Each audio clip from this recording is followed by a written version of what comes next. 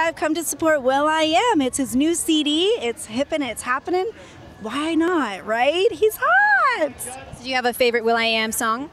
Oh, let's get it started. You know, um, my humps, my humps, my humps, my humps, my lovely lady lumps, my humps. And what are you currently working on? As you can tell, I'm not a singer. We'll leave that up to Will, and he can handle it with the Black Eyed Peas. So what are you currently working on? right now, I'm actually been studying as an actress, so I've got some good things that are rocking and rolling with Ron Carlson, and so you'll be seeing me soon. I'm also doing some fun hand modeling.